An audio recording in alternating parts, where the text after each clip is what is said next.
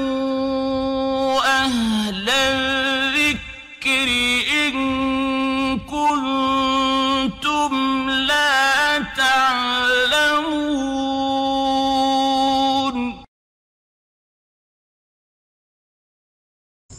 ওয়ালাইকুম সালাম রহমতুল্লাহ বরকাতহ আলহামদুলিল্লাহ ওয়াহাদা ওসলাত ওসালাম আলা মাল্লা নবিয়া বাদা আহ, রুহুল আমিন খান ভাই জিজ্ঞেস করছিলেন যে মুসাফির কাকে বলে? আর মুসাফির কতটুক জায়গা জেলে মুসাফির হয়? বা মুসাফির বিষয়টিকে একটি যদি বলতেন। আহ, সম্মানিত ভাই আসলেই মুসাফির যে সফর করে তাকে বলা হয় মুসাফির। আপনি যেমন ধরেন যে মক্কা থেকে মদিনায় আপনি যাচ্ছেন আপনি মুসাফির। আপনি বাংলাদেশ থেকে যাচ্ছেন আপনার হজ করতে আপনি সেক্ষেত্রে মুসাফির। আপনার রাজশাহী বাড়ি, আপনি যাচ্ছেন ঢাকা আসছেন, সেক্ষেত্রে আপনি মুসাফির। তার মানে এক জায়গা থেকে দূরত্ব, আপনি যাচ্ছেন মুসাফির। তাই মুসাফির কতটুক পথ, এটা নির্দিষ্ট করে বলা হয়নি, তবে আলেম ওলামাগন বলছেন ওলামা সুন্না বলেন যে আপনার যতটুক জায়গা গেলে নিজেকে মনে হয় যে আপনি মুসাফির, তাহলে আপনি মুসাফির হতে পারবেন। আপনার যতটুক স্থান অতিক্রম করলে মনে হয় যে আপনি মুসাফির, সেটাই মুসাফির। যতটুকু মুসাফির। তবে আলেমুলামাগন বিভিন্ন ব্যাখ্যা আরও করেছেন। কেউ বলছেন যে কেউ যদি আপনার পঁচাশি বা নব্বই কিলোমিটার কেউ যদি যায়, তাহলে সে নিজেকে মুসাফির হিসেবে দাবি করতে পারে।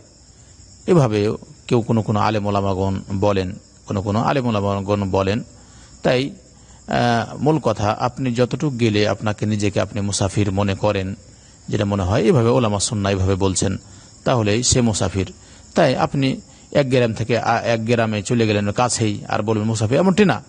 আর একটা মুসাফির হলো যে আপনি বাড়ি থেকে বের হলেন আর আপনি যেমন যে আপনি রাজশাহী থেকে আপনি যাবেন চিটাগাং, এখন আপনি মুসাফির হয়ে বের হয়েছেন।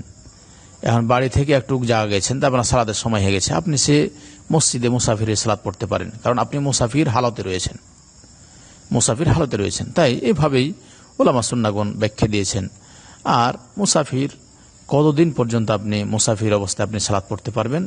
তাই এ মর্মে আপনার আল্লাহ রসুল সাল্লাহ সাল্লামের একটি হাদিস রয়েছে যে আপনি যদি উনিশ দিন উনিশ দিন যদি আপনি থাকেন কোনো জায়গাতে, উনিশ দিনের বেশি তাহলে মুসাফির নয়। আর উনিশ দিন উনিশ দিন যদি আপনি থাকেন তাহলে মুসাফির অবস্থায় সালাদ পড়তে পারবেন। এ মর্মে একটি সহি হাদিস রয়েছে। আর এ মর্মে ওলামাগণ বিভিন্ন ব্যাখ্যা দিয়েছেন।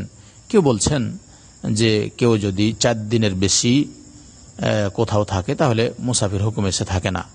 চার দিনের বেশি কেউ যদি থাকে, তাহলে মুসাফির হুকুমে থাকে না। মকিম যেমন এবাদবন্দি করে, সেভাবে তারা করে। তবে হাদিসে যেটা বললাম এর আগে, যে উনিশ দিন পর্যন্ত আল্লাহ রসুল মুসাফির অবস্থায় থেকেছেন এবং যা হোক বিভিন্ন কারণ দর্শাচ্ছেন তবে এটা হাদিস। তবে হ্যাঁ আপনি আলেমুলামান বলছেন, কেউ আপনার চার দিন কেউ আবার বলছেন পনেরো দিন। এভাবে বিভিন্ন আলেমুলামাগণ বলেন। তাই আপনার মুসাফির, আপনি যতটুকু গেলে আপনার মনে হয় মুসাফির, ততটুকু আপনি থাকতে পারেন। আল্লাহ যেন আমাদেরকে সে তৌফিক দান করেন। আল্লাহ আলাম। সুবহানাক আল্লাহ হামদিকা সাদাল্লাহ ইলাহা ইল্লা আন্তা আস্তাফিরুকা ইলাইক।